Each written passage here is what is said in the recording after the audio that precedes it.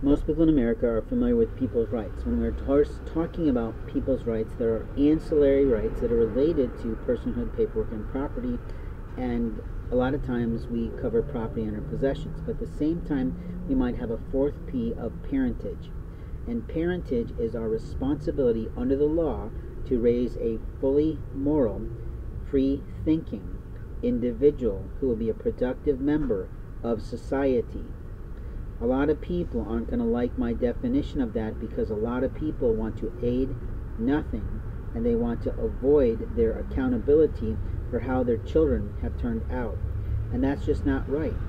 The reason, motherfuckers, that it's not right is because we have had 40 to 60 years, and some reporter who's better than me can tell you exactly the precise time, precise time when the study of children and how to read, read, read them, and really probably since Bible times, uh, we've been talking about this of spare the rod and spoil the child.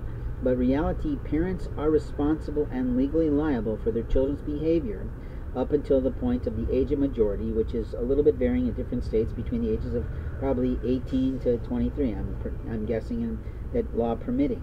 But what I'm saying is, if your child mouths off and he gets pummeled for mouthing off to an elderly person, who's to blame? Was it the kid mouthing off and being improper, improper and immoral to an elderly person, or is it the older gentleman's intolerance of the constant pursuit, harassment, and haranguement by your child?